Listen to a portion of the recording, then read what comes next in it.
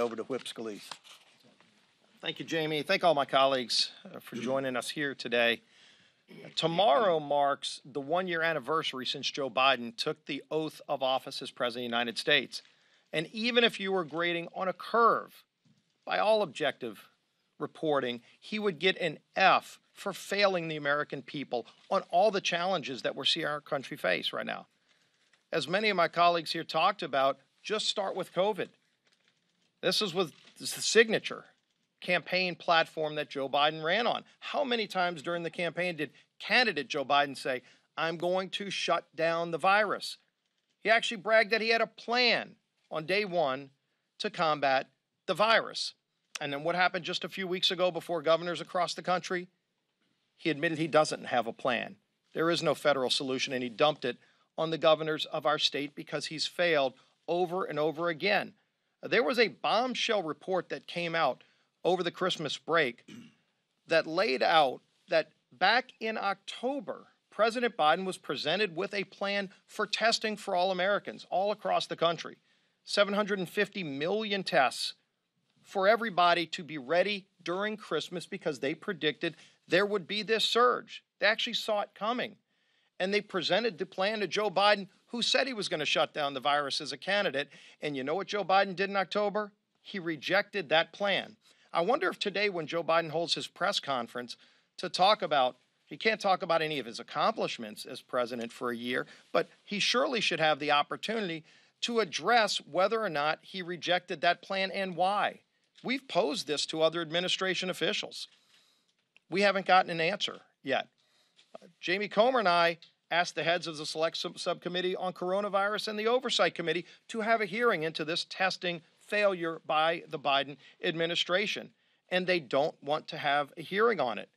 They seemed overeager to talk about transparency and accountability until all of a sudden they were accountable for more deaths from COVID under the Biden administration than they had when they walked in the door. And let's remember, when Joe Biden took that oath of office a year ago tomorrow, he walked in with President Trump's Operation Warp Speed that had delivered not one, not two, but three proven and effective vaccines. What has President Biden done to advance on that? Nothing. What has he done to go look into more therapeutic options, to look into natural immunity? Again, on testing, the failures that we see where people right now have to wait hours in lines to try to get testing when he was presented with a plan in October and rejected that plan kind of hard for him to say now that it should have happened because he was the one who stopped it from happening.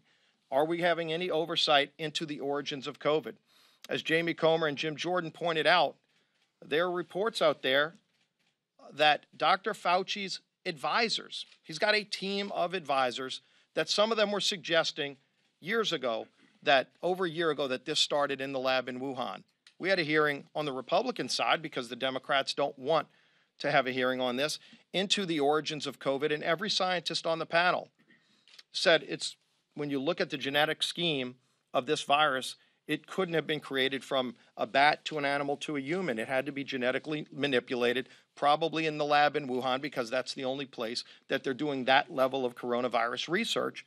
And yet, still to this day, Democrats refuse to have a hearing because they don't want to hold China accountable if it turns out that they were directly involved in not only having that virus created in the lab, maybe there were taxpayer dollars through gain of function research that were involved in that, but also then why China lied to the United States and the rest of the world in those immediate days and weeks and months afterwards, where we could have saved millions of lives globally, uh, but that didn't happen.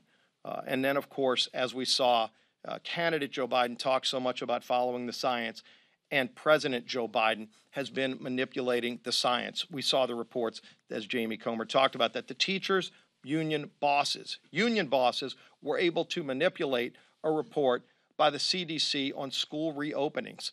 Uh, think of how destructive keeping schools closed has been to our young kids over this last year and a half. We're going to look back years later and say, how did anybody let that happen uh, when kids today are not getting the same learning environment outside the classroom as they are inside the classroom. All the science says the kids should be back in school. And the, all the things that they're not learning, all the damage that's being done, the suicides, the drug overdoses. And when Joe Biden had an opportunity to stand up for the kids, he instead chose to stand with the teachers' unions against those kids and manipulated a report that kept kids out of school.